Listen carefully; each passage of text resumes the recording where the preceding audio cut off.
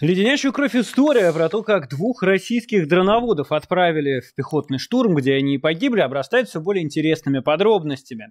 Напомню, они записали предсмертное видео, мы с вами, конечно, их посмотрим, где обвинили, во-первых, руководство армии во лжи, а своего непосредственного командира в торговле наркотиками, э, отъему имущества у военных, которые они собирали с помощью волонтеров и так далее. В общем, настоящий разрез российской армии. Но что происходило дальше, еще интереснее, потому что Z-каналы начали массово писать, что тенденция такая по всей линии фронта, во многих подразделениях, когда командиры неугодных просто отправляют штурмовые атаки, а штурмовые атаки это билет в один конец. То есть тут подтверждается сразу все. И беспредел, и то, что Россия воюет штурмами, из которых живыми не возвращаются и так далее. И сегодня мы с вами, конечно, окунемся в пучину этого тотального Z нытья, где каждый второй говорит о предательстве, где разоблачают схемы, которые действуют в российской армии, из которого наглядно будет видно, почему в российской армии никому не место, почему туда нельзя идти независимо от ваших взглядов, представления о жизни и так далее, потому что ваши шансы умереть там велики, а шансы стать терпилой являются практически стопроцентными. Итак, для начала, что же произошло? Военные каналы очень часто пишут о командирах, которые отправляют недовольных на верную смерть в штурмовые отряды. Но обычно это рассказы без деталей, без имен и фамилий, Просто кто-то провинился, кого-то отправили, и он умер. В этот раз все несколько иначе. Z-канал рассказывает о гибели двух заметных добровольцев. Подполковника Сергея Грица и позывной Эрнест, и Дмитрия Лысаковского, позывной Гудвин. Оба они были отправлены вместе с другими военными из расчета дальней разведки БПЛА в штурм. Оба погибли, оба знали, что отправляют их именно на верную смерть, и оба перед смертью записали видеообращение в которых рассказывают о том, что командир полка крышует наркоторговлю, отжимает у военных ценное оборудование. Собственно, это и всколыхнуло Z-канал, и всколыхнуло Z-телеграм, потому что, как и в случае с Мурзом, который оставил предсмертную записку, в предсмертной записке ты особо себя не сдерживаешь. Не сдерживали и эти вояки. Вот одна из этих предсмертных видеозаписок. Меня зовут Дмитрий Иванович Лосаковский. Я записываю это сообщение, находясь где-то на позиции 36 в районе населенного пункта Мемрик. Весь отряд БПЛА дальней разведки был ликвидирован для того, чтобы мы перестали получать э, актуальную информацию по фронту и отправлен штурмовать. Наш командир полка с позывным «Злой» Игорь Викторович Пузик э, несколько дней назад уже доложил о взятии населенного пункта Лесовка. И, естественно, это неправда ничего там не взято туда. Иногда только заходят наши группы, группы союзников, которые все уничтожают. Эта информация, а, эта ситуация не уникальна. Так существует по всему фронту. Ложь является абсолютной нормой. Ложь о том, что какие-то населенные пункты заняты, является нормой. А, это сообщение, как вы понимаете, я записываю, потому что очень велика вероятность для меня не вернуться из этого штурма. Так вот, запомните, войну надо называть войной, а предателей, которые лгут, надо расстреливать. Иначе войны не будет, а будет договорничок и рыночная экономика. Но это я отступил немножко. Итак, наш расчет дальней разведки, который исправно поставлял информацию, э,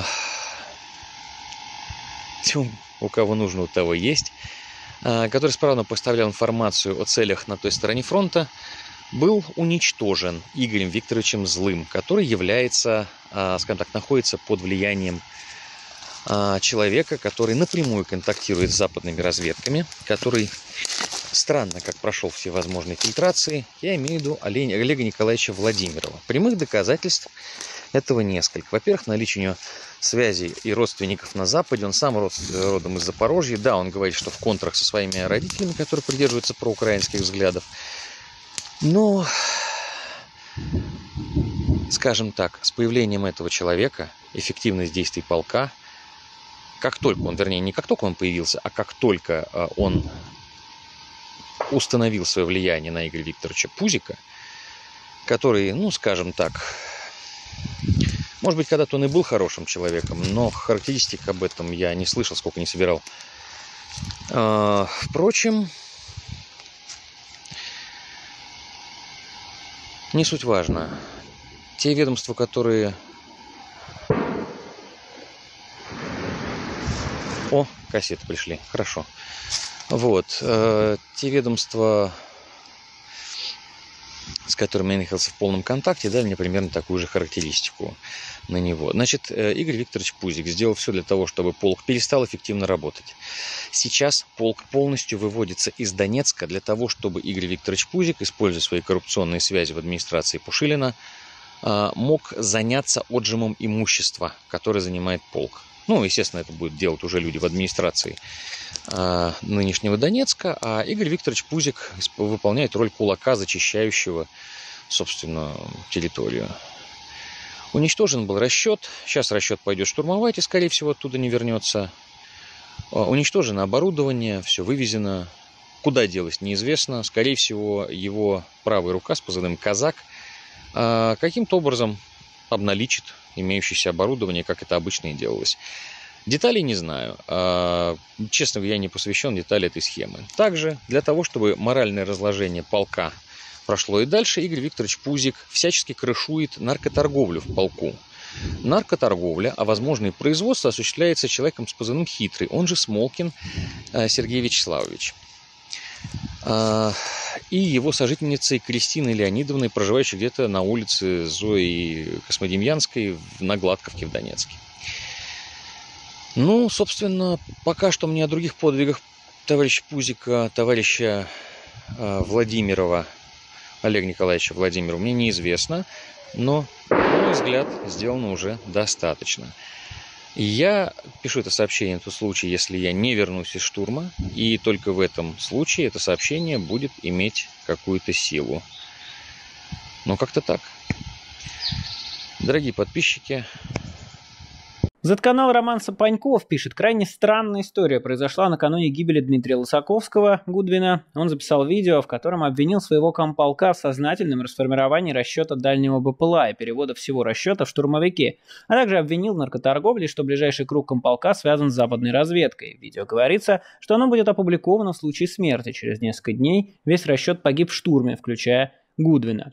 Последнее сообщение опубликовал Владимир Грубник. Я бы, наверное, не стал писать пост, пишет он, но имеется факт обвинения вышестоящего начальства в тяжелых преступлениях, причем не в открытом эфире, а в качестве завещания, если человек не вернется из боя. Собственно, так и произошло. Также публикуется и второе предсмертное видео этих двух людей. Там, правда, все равно в основном солирует именно этот военный, но тем не менее давайте посмотрим и его. Всем привет, Эрнест Гудвин, 87-й полк, Первая Славянская и прочее. Ну, как это говорится, некоторые говорят, да, свистелись, да, а мы, не знаю, может быть, отлетались. По-всякому бывает. Значит, э, самые замечательные беспилотчики и командиры подразделений беспилотки а, с позывными Эрнест, Гудвин и Большой получили сегодня задачу уйти в пехотные порядки.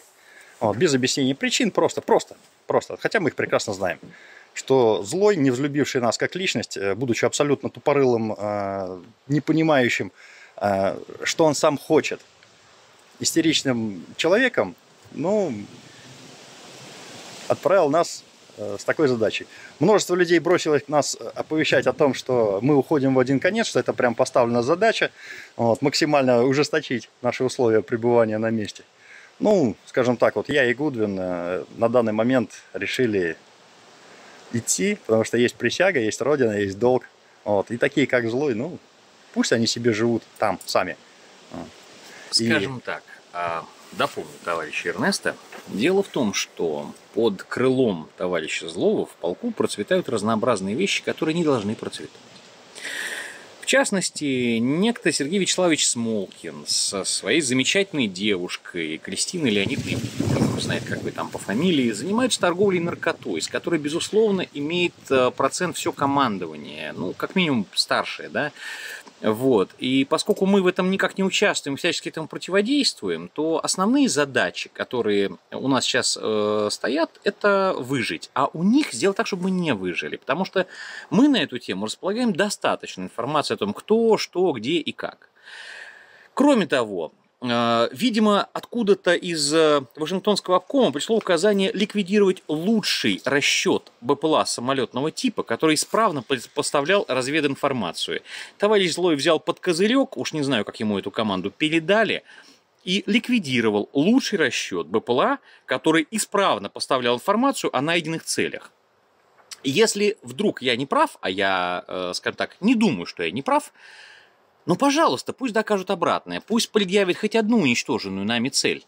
Дело в том, что все, что мы э, доставляли, всю информацию, которую мы доставляли, эта информация тормозилась на уровне комполка и начальника штаба и не уходила выше, для того, чтобы цели э, украинской армии не были уничтожены, для того, чтобы они продолжали уничтожать наших бойцов, для того, чтобы они продолжали носить удары по территории РФ.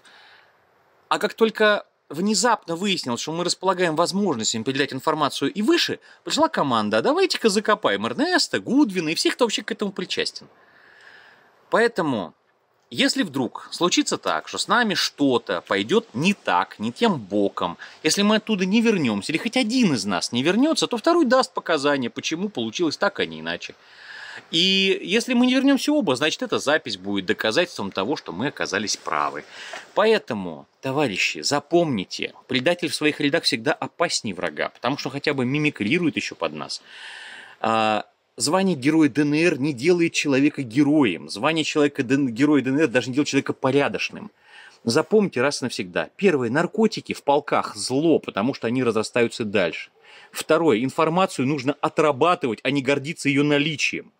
И третье, если вы воюете за родину, воюйте за родину, а не за свой карман, сучки вы крашеные. Что ж такое-то? Можно понять, что войну надо сначала выиграть, а потом прибыль-то делить. Сколько раз говорили, воруйте с прибыли, не с оборота. Поймите вы эту простую истину. С поступления. Вот именно. Нельзя воровать со всего, что поступает в полк. Нельзя отдельный э, комплимент каналу Катя Валя, который нам поставил восстановленные маники, мавики по цене новых. Но это ладно, это другая история. Если что, информация об этом распространена минимум в 8 источников, один из которых напрямую работает в ФСБ России. Где всплывет? Не знаю, видит Бог. Точно знаю, что всплывет. Поэтому, ну что, очкового вазелина вам в ленту. Дрожите. А мы идем. Присяга, долг. Родина ждет. Всем привет. Что важно из этих двух видео? Ну, во-первых, для себя я отмечаю ложь как э, инструмент российской войны, причем тотальную. Об этом говорится с первых же минут первой предсмертной записки, что никаких таких успехов, которые российская армия себе приписывает на фронте, по факту нет, что закрашенные какие-то населенные пункты зачастую оказываются просто населенными пунктами, в которые периодически забегают российские солдаты, умирают там, и на этом все заканчивается. Точнее, продолжается со смертью новых и новых групп. Ну и дальше это, конечно, все то, что происходит в российской армии. Я вам об этом говорил, наверное, тысячу раз. Э, у меня, конечно, меньше тысячи роликов, но в части из них рассказывается и про отправление на мясные штурмы, э, и про наркоторговлю вот этих вот, значит, вышестоящих, про обнуление давлении и про все прочее. Периодически меня обвиняют в том, что это какие-то пугалки, что я что-то из этого выдумываю. Когда я зачитываю вам текстовые эти истории, мне говорят, да это все выдумки. Когда об этом говорят дезертирующие российские военные, которые сохраняют анонимность, говорят, да это актеры купленные. Ну вот вам история, в которых не может быть ни купленных актеров, ни дезертировавших российских солдат, ни нейросетей, как сейчас модно оправдывать любую вещь. А там просто два российских военных, широко известные, огромное сообщество, которое подтверждает правдивость правдивость всего этого.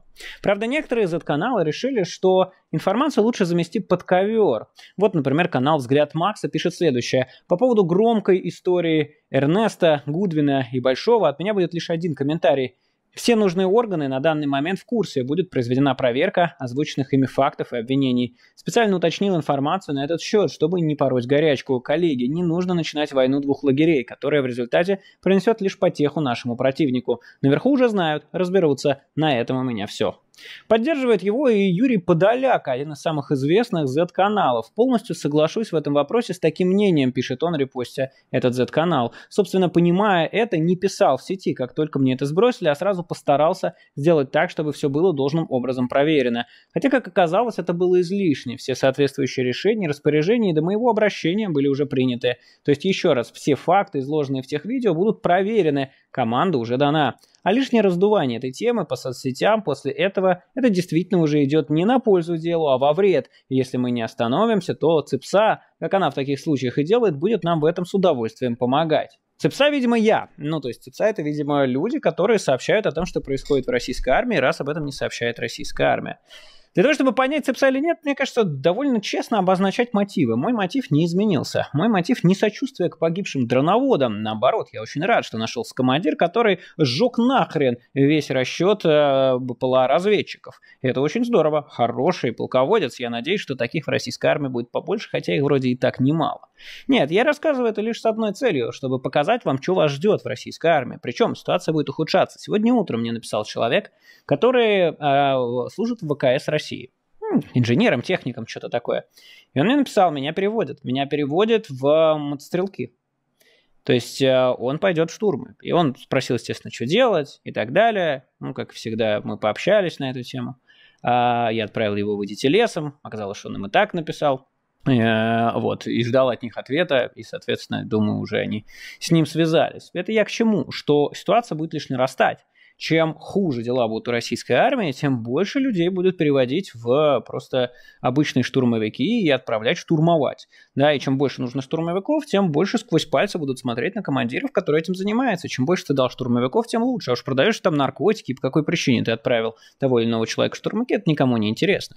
Поэтому те, кто идут сейчас, прельстившись большими деньгами или там воображая себе непонятно что, знаете, что вы, скорее всего, помрете, причем по приказу своих же командиров. А до этого будьте унижены, отправлены в яму и обоссаны, или с вас будут собирать оброк, как это происходит в российских войсках, и так далее. Очень много разных историй, которыми уже полнится Z-сообщество.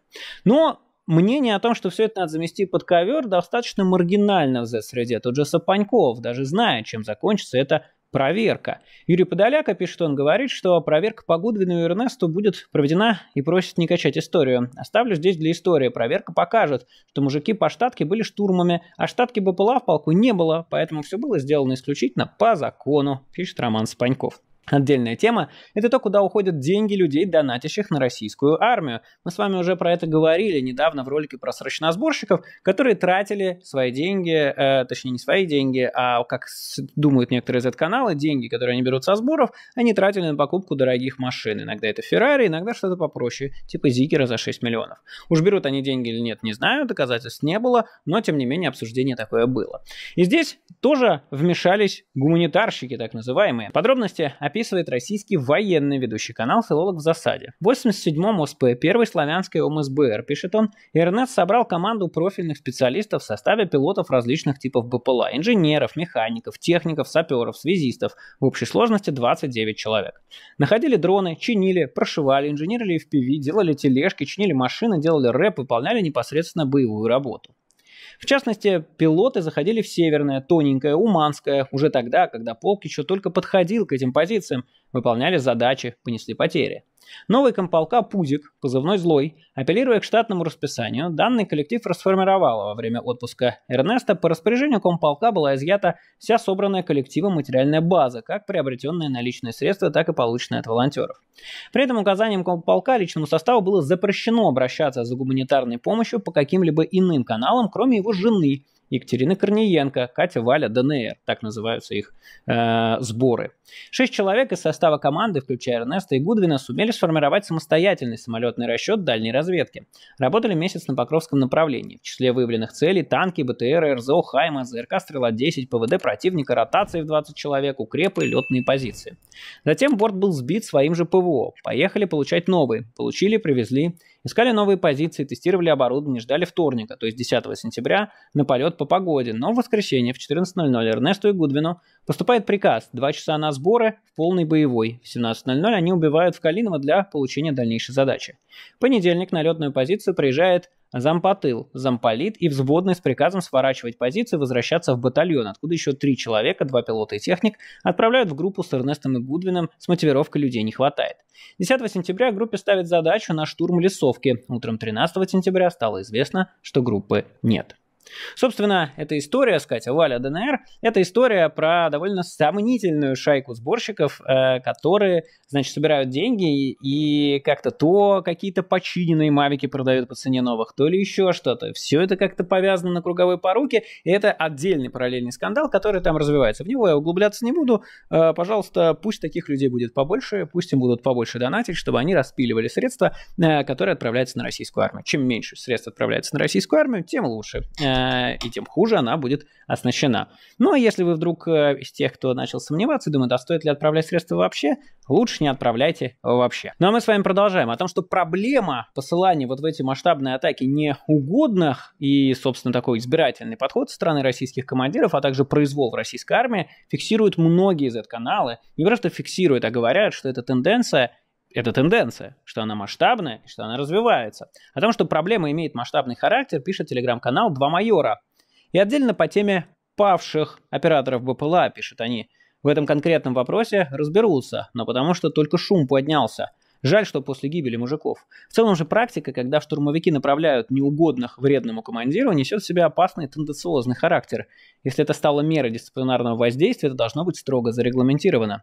Как, например, тема с телефонами авторства Комитета Госдумы по обороне или тема с запретом гражданского волонтерского транспорта на фронте от ГАПТУ.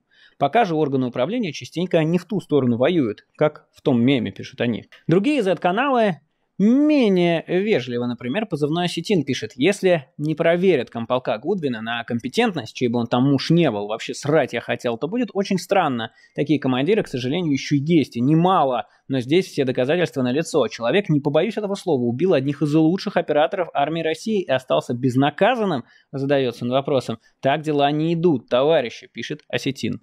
А от себя могу добавить, что, казалось бы, а что здесь плохого. Добавляет и неофициальный Бессонов, пишет, злоупотребления командиров будут до тех пор, пока не будет жесткой ответственности за потери личного состава. К сожалению, таких случаев немало в разных подразделениях. Помните командира группы нашего морского спецназа, коменданта? Его группа из шести человек размотала украинский спецназ из 40 человек 28 февраля на Тендровской косе Херсонской области. Из-за конфликта с командованием и того, что за этот бой было решено наградить других людей, слаженную эффективную группу коменданта э, разбили по штурмовым подразделениям. Зачем? Думайте сами. В Донецке эффективную группу хакеров, которая много лет работала на благо нашей армии, добывала секретную информацию противника из-за предвзятого отношения, мягко говоря, командования, тоже отправили в штурмы. Во второй половине августа один из них погиб на Авдеевском направлении. Наверное, у нас в стране слишком много айтишников, особенно хакеров. Все это знают все, и не только в армии, но и на гражданке. Это подрывает не только боеготовность в войсках, но и влияет на принятие решения подписать контракт потенциальными добровольцами. Молчать об этом преступно. Ситуация стала тенденцией, пишет он.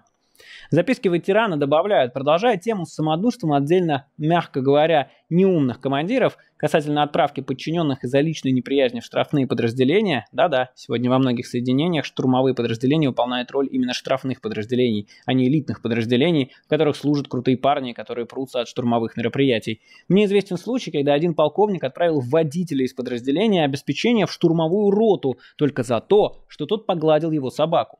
Сразу хочу оговориться, пишет он, что я предостаточно знаю случаев, когда боец действительно заслуживает не только ссылку в штрафбат, но и высшие меры. И в данной ситуации отправка в штурмовые подразделения или посадка на яму является действительно последним аргументом командира, чтобы воздействовать на неадекватов.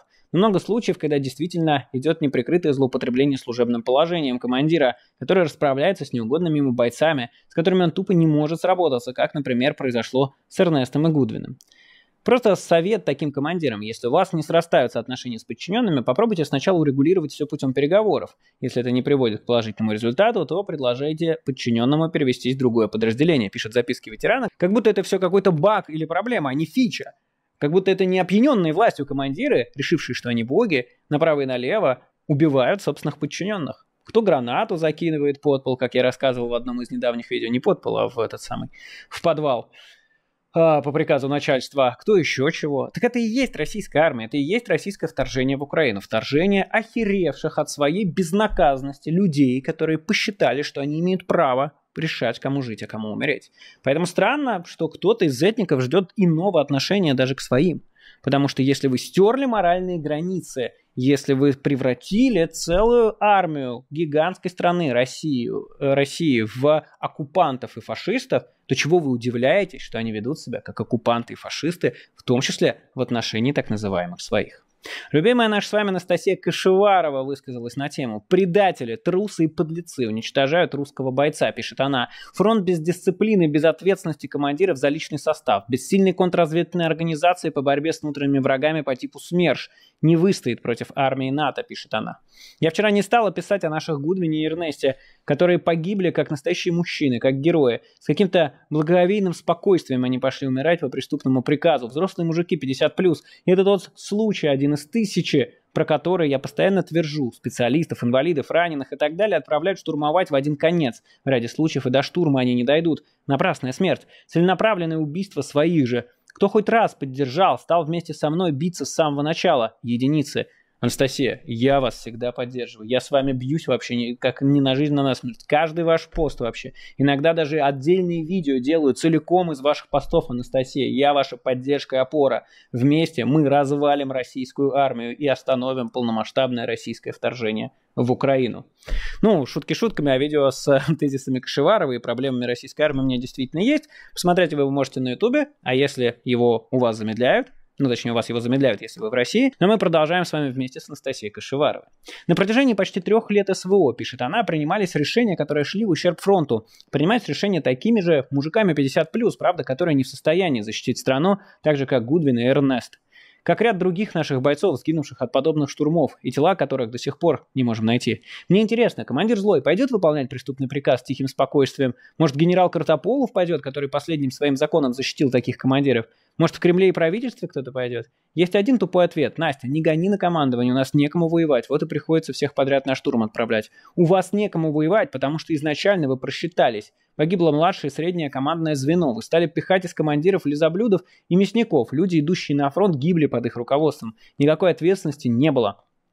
Вскрывались потери. Мобилизация приостановлена. Внутренние социальные проблемы не решены. Отток добровольцев. А те, что идут, без слез не взглянешь. А сколько сидят в тылу за то, что платят командирам? А сколько мертвых душ? А недостоверные сообщения о взятии того или иного населенного пункта, которые разносились блогерами и некоторыми военкорами, а на самом деле он еще не взят. И парней просто ради соответствия лживому отчету гнали любой ценой захватить эту сраную деревню. Сколько я об этом говорила, писала доклады, очнитесь. Дело не в этом расчете, дело не в этих конкретных известных бойцах, это массовое явление. Гудвину удалось записать предсмертное видео с конкретными фактами, большинству не удается, но письма о подобных ситуациях в разных подразделениях мы получаем регулярно и про верет крутых спецов штурма, и про перепродажу гуманитарки, и про наркотики, и вообще про это очень удобный для недобросовестных командиров способ избавиться от проблемы. Открыл рот, штурма с голой жопой. И вот этот закон про право командования назначать наказание без суда и следствия, он играет на руку как раз таким командирам. Как все ликовали, когда там якобы отменили запрет на использование мобильников. Но никто так и не вчитался, что по сути в законе ничего не поменялось, пишет Кашеварова.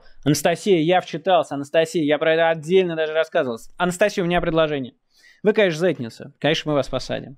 Конечно, будете сидеть. Ну, как мы. Справедливые люди когда-нибудь, какие-нибудь посадят. Я к этому не буду иметь отношения. Давайте так.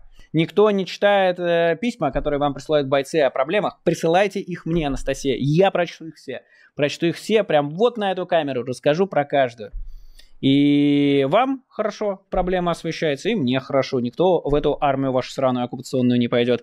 Так что, Анастасия, давайте. Враг моего врага мой друг. Если ваш враг российское командование, мой тоже. Объединим усилия и бахнем по российской армии. Ну, я, конечно, шутки шучу, потому что Анастасия всегда в шаге от правильного ответа. То есть она натурально описывает все проблемы российской армии. Уже давно описала, что все всех предали, уже что ни хера не работает, что потери гигантские, что захватить ничего нельзя, что все везде просчитались. И, казалось бы, разумный, единственный разумный вывод – Э, что нахер эта война никому не нужна, вообще никому. И как бы нужно выводить войска из Украины и делать все возможное для того, чтобы менять эту власть, которая это все сделала. Но нет, Анастасия продолжает с упорством достойного лучшего применения э, раз э, в несколько недель писать посты, как все плохо. В целом я не против. Только боюсь, что ждет ее та же участь, что Игоря Стрелкова-Гиркина. Но надеюсь, она будет писать из тюрьмы чуть активнее. Отдельно меня, конечно, поражает начало этого поста, Э, когда мы говорим про взрослых мужиков, которые реально взяли автоматы, и вместо того, чтобы убить командира, который им не нравится, в том смысле, что который гонит их на верную смерть, и по их мнению очень хорошие, они просто пошли и умерли. Ну, класс, кайф, интересная стратегия, очень смело. В чем здесь смелость, понимаю я не до конца, в чем величие имущества тоже. Э, надеюсь, что если я окажусь в подобной ситуации, то э, я как раз Попробую, как минимум, если уж э, на 100% э, уверен в, в том, что иду в мясной штурм, как-то повернуться против командования, которое преступный приказ отдает. Но я не думаю, что я попаду в такую ситуацию. Тьфу -тьфу -тьфу. Не хотелось бы. В любом случае, героизма я здесь не вижу абсолютно от слова совсем. Ну а мы продолжаем. Белорусский силовик. После вчерашней публикации, пишет он, про Гудвина, мне в личку со всего фронта стали прилетать сообщения от военных со своей историей, которые столкнулись с похожей ситуацией, где из-за конфликта с командованием их из БПЛАшников переводили в штурмовики и отправляли группами на штурм. Группы формировались тех, кто состоит в опале командиров. Как уже писали уважаемые товарищи, Рыбарь, Бессонов, два майора. Проблема носит массовый характер и требует вмешательства высокого руководства. Многие отличные специалисты гибнут, потому что на каком-то этапе просто оказались в опале командиров, подтверждает он массовость явления. Вывода вещает, пишет, я за ночь пообщался с десятком человек точно, которые хотели излить душу после гибели Гудвина. Немного в нет, но я, конечно, часто бываю в регионах, вошедших в состав России после референдума 22 года, насмотрелся и в Марике, и в Бердянске, но чтобы было настолько запущено. Для себя делаю вывод, в новых регионах порядок на местах наводить, похоже, еще долго будут.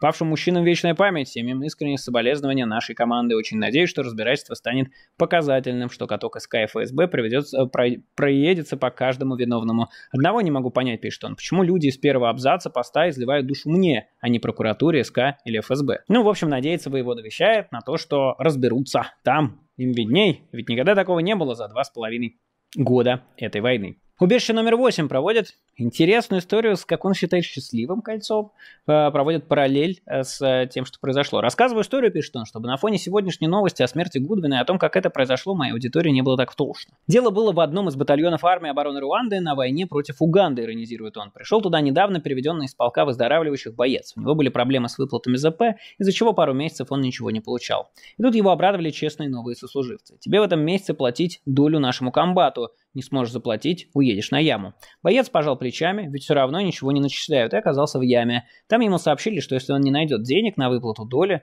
то его обнулят. Боец сначала не поверил, но один из охранников ямы сжалился и пояснил, что обнуление означает отправку в атаку со стрельбой в спину, и все, конец. После чего сердобольный охранник открыл яму и ушел, мол, беги, если захочешь.